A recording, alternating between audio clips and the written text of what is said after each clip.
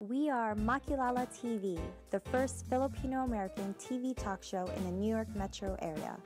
Get to know us as we talk to the community leaders, innovators, advocates, and emerging artists who affect Filipino American life.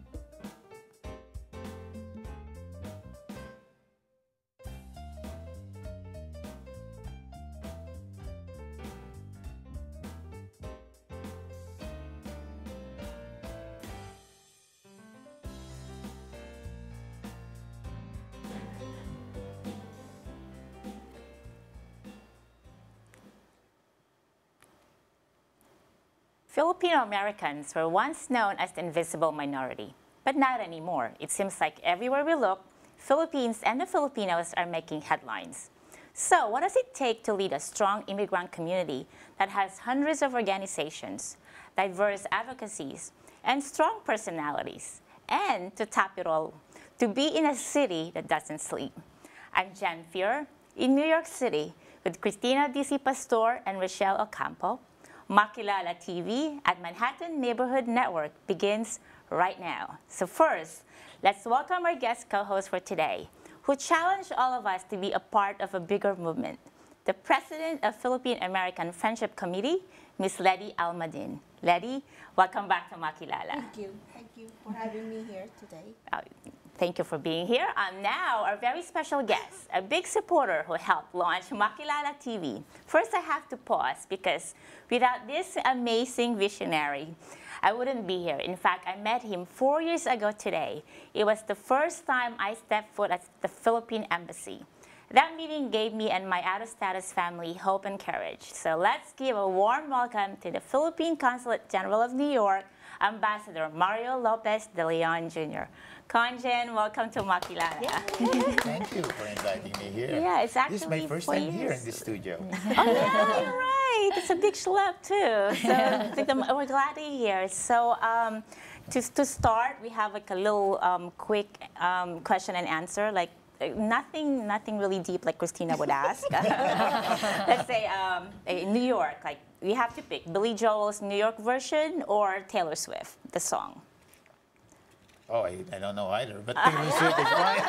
Frank Sinatra's New York. Uh, Frank Sinatra. Okay, when you wake up, let's say in the middle of the night, and you have the munchies, um, and you're craving for food, what's the first thing that you would, you know, what's the first restaurant you would call? Restaurant? Or uh, what food are you're gonna make? Or Oh, yeah. it's always eggs. always eggs. okay. Um, okay. When you hear the word exercise, what comes to mind? Gym. Gym. very You go to a gym. Yes, I go. Wow, I didn't know Oh, you that. see that? Now you know. Now the community knows. We're all gonna look for you in our local gyms. So when you're stranded in an island, who would you be happy with, Miss Universe or Miss World? Miss World. there you go. I was, I was thinking he would say Mrs. De Leon. Okay, so um, going back, so um, Conjan, um, how does it feel? How does your family feel about being in the city all this time? Oh, they really love it here. That's, that's one thing I would say. Uh, this is the first time we live in the city, you know, uh, when I was signed here in New York. Um, before, 20 years ago, we, we live in the suburbs, so it was more of a suburban life. But this is the first time we're living in the city, and, I, and I'm starting to enjoy it as well.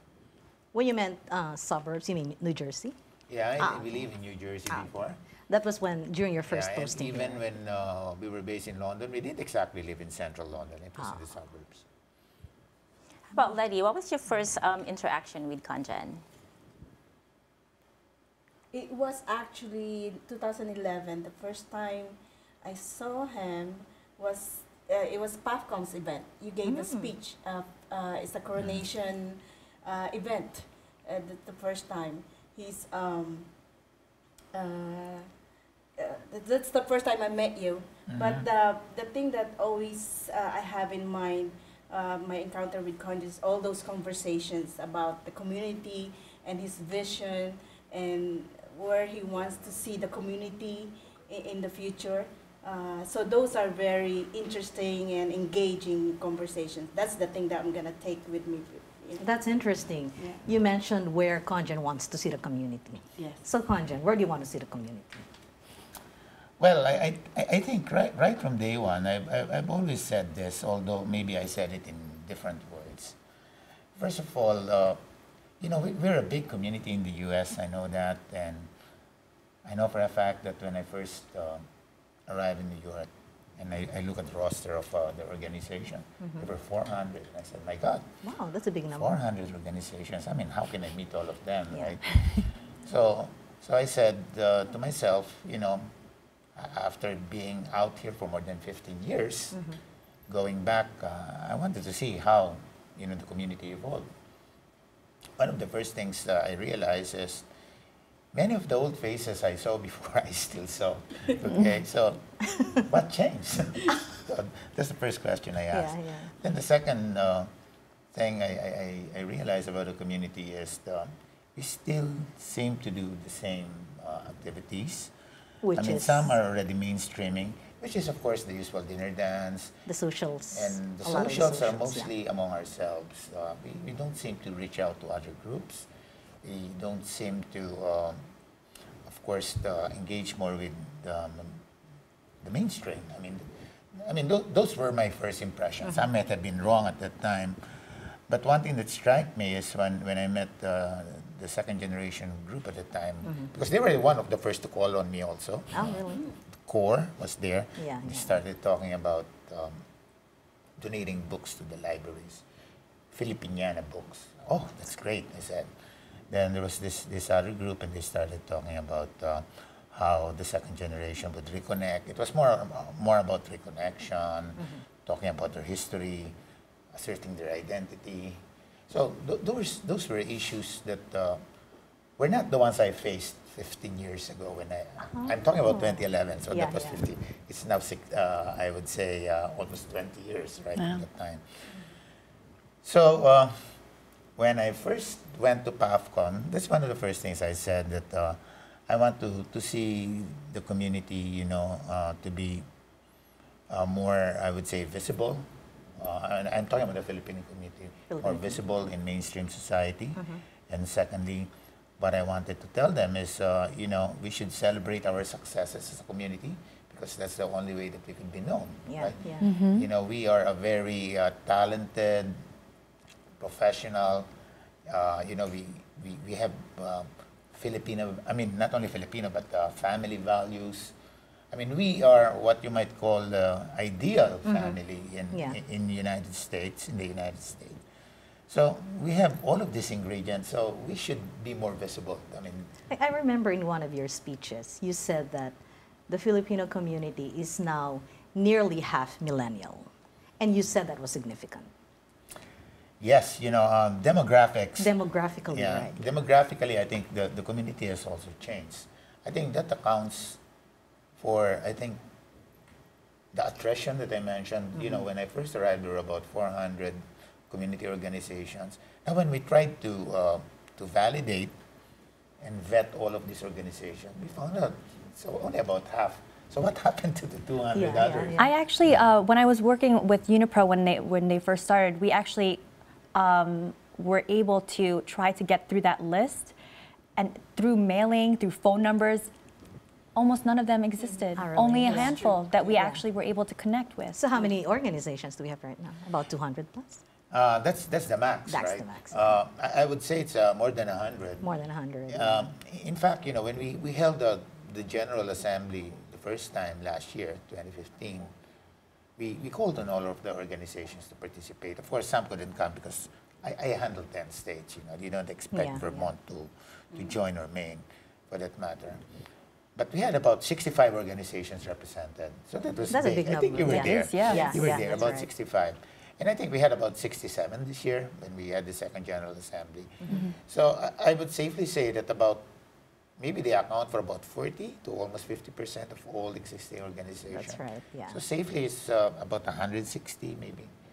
And there may be a few that uh, we don't know exist. But sometimes they exist, you know, when they start inviting you. Yeah, yeah, that's right. So this um, 100 plus organizations, are these across the 10 states that you manage? yes, they are. Okay. They are These are not just 10 New York. New Jersey. Not, okay. not just New York, New Jersey. Perfect, yeah. That's another thing I did. Um, you know, if I would like to really raise the visibility of Filipinos, uh, I might as well be present in all of the states that uh, are under my jurisdiction. Whether the organization is small or big, I attend as long as I have the time. So that's what I did. I mean, it's of course the abot ng kaya. Yeah, you yeah. know, you only have a, a weekend to to spare, Mm-hmm. right, uh, to, to reach out. But I was able to, to go as far as the Vermont, uh, New Hampshire, Yeah. Erie, in Pennsylvania, Pittsburgh, um, of course, uh, Niagara. Wow. Does it get like tiring to go like to every event every single weekend? Tiring, tiring and fattening. I mean, you're right on that. But uh, it's, it's what keeps me going. Um, well, you know, I, I'll write. I, uh, I'd like to really thank my wife for always joining me. You know, she really helps me in, in uh, keeping up with all of this uh, busy schedule that I have. You know, sometimes I have about three events. Like today, one- I, in I one have two day. events. yeah, you're right. Oh, Are there organizations, have you met an organization that has not reached out to the consulate at all? They think they can survive without connecting with you. There are. There are? There are. Do they do that on purpose because they they just Yeah. had a bad experience with the consulate, or, Or, just are they, they being activist oriented? They don't want anything to do with the Philippine government? What, what is the reasoning behind that? Yeah, maybe a, a, a lot of reasons, but sometimes uh, what I feel is they don't know anybody in the consulate. You know, we Filipinos, we tend Oh. to find uh, a third party to introduce us, you know, because maybe they feel that, uh, you know, we're so high up there, we cannot be ap- approachable. That's true But- though. I didn't That's go to the consulate until like I, I had. You Un- know, until you met somebody in the until somebody community. said you You should know, go. That's actually similar to um, the student organizations. When I would go to um, the student organizations in the Filipino uh, community, um, a lot of them were like, "Oh, you you had an event at the Philippine consulate?" I was like, "Yeah." All the time. They think that you're so such a yeah. big shot that you I was like, having- no, they are so engaging. uh, they right. really want to be, be involved. They just don't know Yeah, yeah. what uh, platforms. So, is there a disconnect somewhere? Like they don't know how to. Yeah, they're they're so in their own little college world. Yeah, that, that's true. In, in fact, one of the first things we did, uh, and of course, I, I just like to say that uh, I did it as early as 2012. Just um, we came out with this idea of be connected, right? So we started uh, using Facebook, Twitter. Um, we revamped uh, our our website uh, to make it more attractive, but that was not enough, you know. Yeah, it's not. Yeah. One thing I realized is you should have more friends. So, you know. so what I did is I made use of my own personal Facebook page a lot. Yeah. So if people, even if I don't know them, if they say that they want to befriend me, as long You just as accept them. I accept Ah, most of the time. of the that's, time. that's what I did. So I think I, I have almost about 2,000 friends Wow. already. So whenever Way I, to I- brag. I- yeah. no, no, I'm not Yeah, bragging no, about no, it. It's I'm just, just- that uh, I wanted to say you that can uh, now endorse a product. You know. Yeah. so when, whenever I, I come out with an announcement there, it reaches many people. it does. No, but Yeah. you And you're more approachable. You became too famous. Someone uh, tried to. Yeah, to someone, Do, uh, yeah. created an account hack, with your name. You were hacked. Yeah. That was fun. they created when a- you know you got it, cloned you you, right? They cloned you. They told me. Yeah, that's true. But uh, Did you ever get to the bottom of that? Did you find out who did that? yeah, someone did. Uh, it Oh, was that's somebody good. from no, you, you'll be surprised. It was How somebody did that from, happen? from the Philippines. No, Why- from why the did you do Philippines. that? Philippines. And why, why would he do that? Do do you know who, exactly who the person is? Because he wanted to have 2,000 plus friends. I know he wants to be like Andre. No, no, it was uh, supposed to be. Uh, Is it a malicious act? yeah, i- it is. Yeah, trying to, to solicit funds from abroad. Oh, my I heard gosh. Yeah, yeah. It's a lot name. more So serious. you gotta using watch out. name. Make sure you double Yeah, check that, that's that. why I, I'm a little careful now. I change uh, my password every now and Yeah. then. Oh, okay, yeah. But but one I would say uh, Facebook has done a lot. In in fact, um, even classmates I haven't met in Yeah. 40 years. you know, I first saw them, of course, because of Facebook. That's true. Yeah, Facebook has a lot of pros and you know positive things in it. I mean, it, it's all up to you. And Conjan is kind of active, you know, you would find the time to like every now and then. Like, You know, why I, would Conjan like it? Why would Conjan greet me a happy birthday? anyway, thank you so much. That's the least I can do for them, you know. um, if what we have so many initiatives. Um, you have the build a project, build a project shelter, Build a shelter. Build a Build a shelter, shelter project. Um, you have the warden system. Uh, what is your like favorite? If you say favorite, it's like your you take like pride that you started it. I don't have really a favorite, but uh, let, let me go to the warden system. I, I started the warden system because the, I, I tried to look at the Filipino communities in my 10 state jurisdiction in a very different way. I tend to look to them more in terms of where do they converge? I mean, more in a social setting. Like, you know, um, the community in Bronx and in Greenwich, Connecticut, and maybe Westchester, they tend to congregate more among themselves uh-huh. rather than deal with, New- with New York Right. City or uh-huh. Manhattan. Well, it's for that matter. convenience. It's because Yeah. proximity, Yeah. right? Yeah. I mean, if you're proximate to each other, you, you Yeah, tend to congregate among each other, right? Mm-hmm. Just the same with the Long Island, uh, Nassau, and Suffolk County. I thought I was the only Filipino in Long Island. Yeah. Yes, sometimes And then I found out about lost, the right? warden system. I was like, there's other You are, the Filipinos only, you're the only Filipino in Long Island who comes to Manhattan. Yes, I look at it that way. A- a- And one thing, I, this is something very surprising. Vermont, you know, I thought that they would tend to congregate more with New Hampshire. No, they, They- tend to congregate more with upstate New York. Why? Ah, why? Because there is a lake, Lake Champlain, uh, which so is not, not beautiful. so well known among Filipinos. Yeah, you know, that's you can take the ferry and Right. cross from Vermont to upstate every- New York. And they, there tend to be a lot of interaction uh, of Filipino communities there, which we don't know, not unless I went Yeah. there. Interesting. huh? So, so what I'm saying is we tend to congregate based on proximity Yeah. and what I call geographic.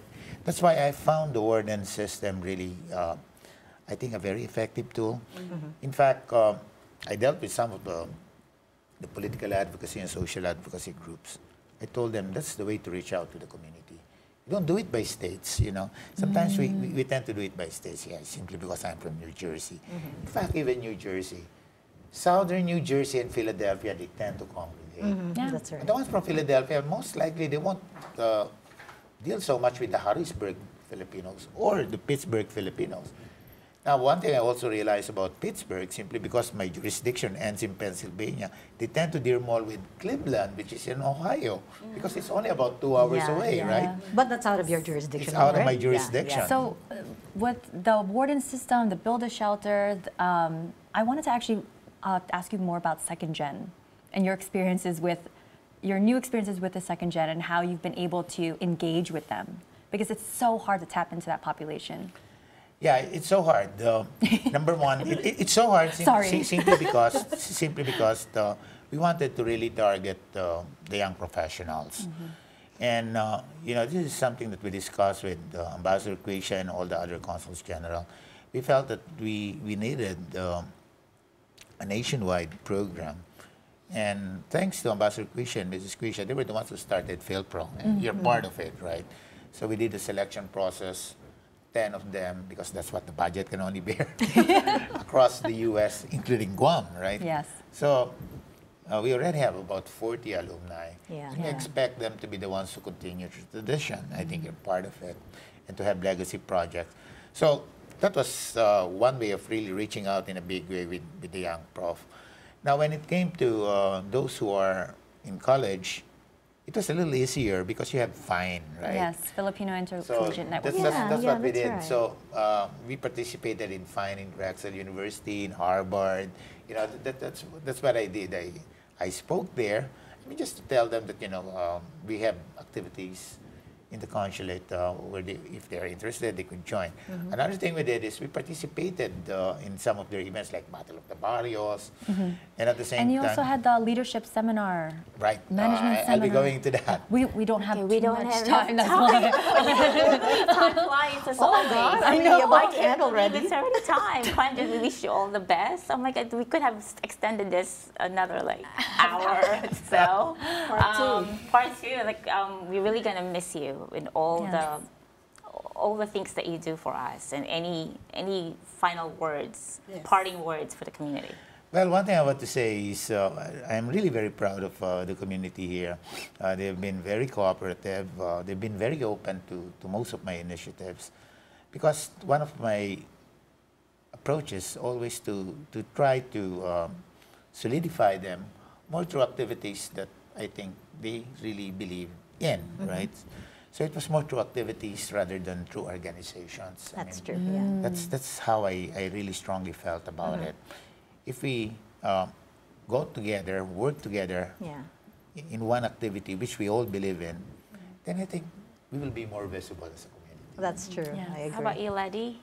Want to say? Well, definitely gonna miss you. I learned so much with listening all your speeches, and uh, the one thing that I learned is the, you know, make our community visible to the mainstream, connecting our community to the mainstream, uh, being visible. We gain respect. Once we gain respect, then they start listening to us. That's one thing that you know, and I use that for you know whatever I whatever feel like I singing do. Aretha Franklin. R E S P C T. Yeah. So thank you so much. R-E-S-P-C-T. Thank you so much. Thank you, Kanja. Okay, thank you. Thanks, thank you Conja, so much thanks for, for- giving me Thanks for coming time. down to MNN for Yes. Okay, thank for you. Makilala show. and um, I wish I could ask you what's your dream job. Um, What's if we have time, what's Yeah. next? What's, What's next next for you, say it, like in 10 seconds. Well, what's next is, of course, I'll have to go back to Manila. I don't know Mm-hmm. what position they will still give to me. Unfortunately, I'm going back at a time where there will be a change in administration. Ah, That's right. I don't even know who the next Secretary of Foreign Affairs is, so I'll just take it when I arrive there. Yeah, yeah, that's right. And that will be another two years, right? Or another four years. Uh, just one year because Ah, just one uh, year. I'll be retiring already by 2017. Oh, Now, if they decide to give me another position, which can be uh, regardless of your age, then I'm in a political position. yeah. Oh. Like So uh, again- ambassador to Yeah. Washington. All right. so, so now we reached the max. Uh, we wish you the best, and we'll sure miss you, Kanjan. Yes. And we have a little surprise. Thank you so much for gracing our show. And by the way, um, we found out from a very good source that you have a favorite song. So we searched the pool of, of talented act, um, artists, and we have Anna Liza um, and Jerome. They're both performing at Kuh Ledesma's concert on March 1. Mm-hmm. They both have ah. great stories. Mm-hmm. Anna Liza came here with $100 in her pocket, and now she's like a doctorate in, you know, in, in physical therapy and into health and fitness, which is like me, but I don't know how to sing, so that's where we separate. And Jerome, who's been singing since she was he was 12 years old, the last along us. So here to sing "Endless Love." Take it away, Anna Liza and Jerome. My love, there's only you in my life.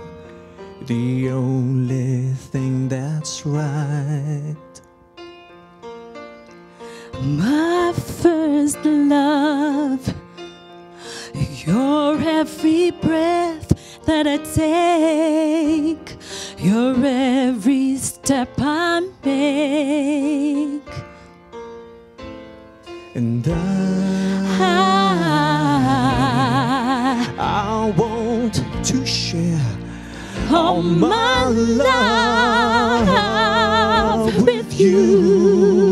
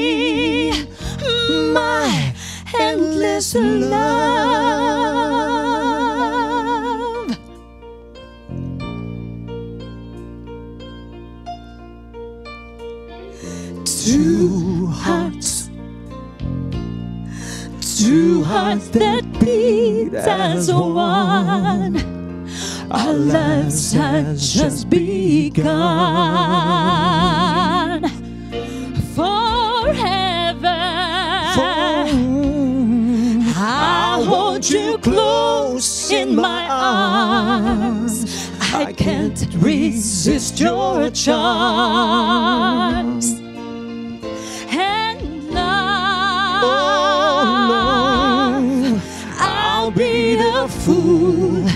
For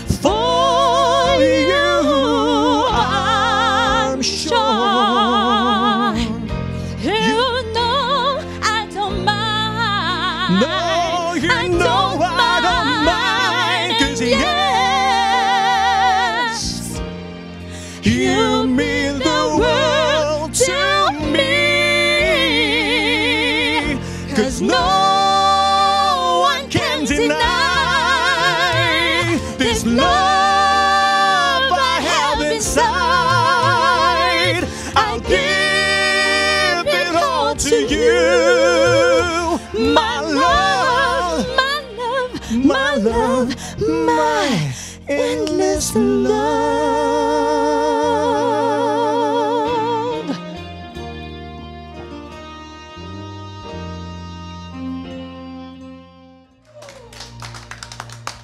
Thank you so much. We would like to invite you to watch Kuh Ledesma here in New York this May 1st at 7 p.m. in Sheraton LaGuardia Grand Ballroom um, in Flushing, New York. See you there.